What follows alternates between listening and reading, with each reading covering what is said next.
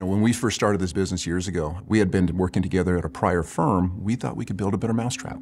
So we, uh, we started this company, and you know, all these years later, I've been with one partner 33 years, the other one 30 years. We probably have eight or 10 people in the company that have been with us for excess of 20 years. And that's what we want to facilitate. We want people that are obviously very good at what they do, but the character, the quality is, is insurmountable. Well, I have been working with founders of this organization for nearly 20 years. That's pretty much my entire career. When we look at people joining our organization, that's what I want for them. I want to have them here for the next 20 years and think of Aristotle as a place where they'll have their career, not just a job.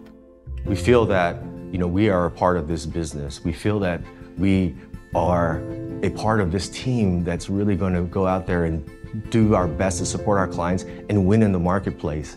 And it's that type of attitude and it's that type of, of energy that I think motivates all of us every single day. It really starts with the people and the leadership group and there really is like this chemistry and admiration we have for the way we interact with each other. It very much feels like a group of friends that, that don't want to let each other down. I chose Aristotle because it was very important to me to grow in my career. I felt like Aristotle would be a great place for me to do that given that they're really open to learning new things and supporting you in your journey. That was that was a big takeaway. Just the responses that I received from everybody and the support kind of just showed me that that was true, that they meant what they said when I was hired.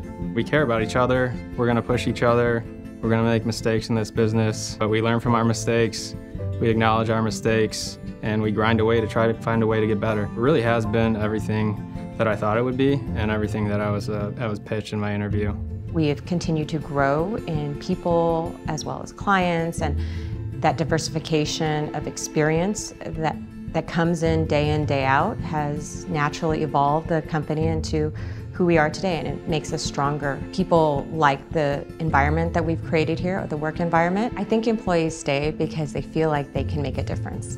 The intensity, the passion that we had 25 or so years ago exists today. It will exist 10 years from now. Nothing has changed.